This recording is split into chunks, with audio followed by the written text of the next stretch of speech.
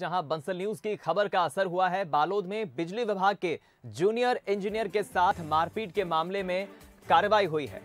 ASI दुआरू Ram को निलंबित किया गया है। एसपी जितेंद्र यादव ने निलंबित किया है एएसआई दुआरू राम को। बता दें, बंसल न्यूज़ ने खबर प्रमुखता से दिखाई थी, जिसका असर हुआ और एसपी जितेंद्र यादव ने एएसआई को निलंबित किया है। स्टेट एडिटर आदित्य नामदेव जी का हम रुख करेंगे। फ़ोन लाइन पर हमारे साथ जुड़ गए आदित्य जी, बड़ी कार्रवाई की है एसपी ने इस मामले में। क्या अपडेट? देखिए, ज़रूरी था भी दीपक जी। आप कानून के रक्षक है, इसका मतलब बिल्कुल नहीं है कि आपको पूरी तरह से छूट है कि आप किसी के ऊपर भी बलपूर्वक किसी के ऊपर किसी के साथ मारपीट करें, किसी के साथ गाली गलौज करें। और आप पहनावा देख रहे हैं, जो थाना प्रभारी प्रभारी, थाना प्रभारी हैं एसआई लेवल के। आप बनियाइन और हाफ़ पैंट पहनकर आप आए हैं तो आप क्या ड्यूटी पे तो नहीं थे? मतलब बेहद साफ़ है। जब आप ड्यूटी पे नहीं थे तो आपको पहली बात तो ड्यूटी पे अगर आप हो भी तो किसी को मारने पीटने का अधिकार नहीं है।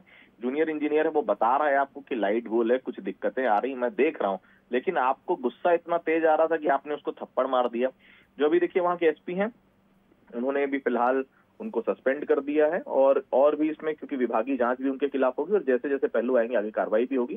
फ़िलहाल खबर का असर है, फ़िलहाल दुआरू राम जो है, वहाँ के एसआई थे, प्रभारी, थाना प्रभारी थे, उनको एसपी ने निलंबित कर दिया।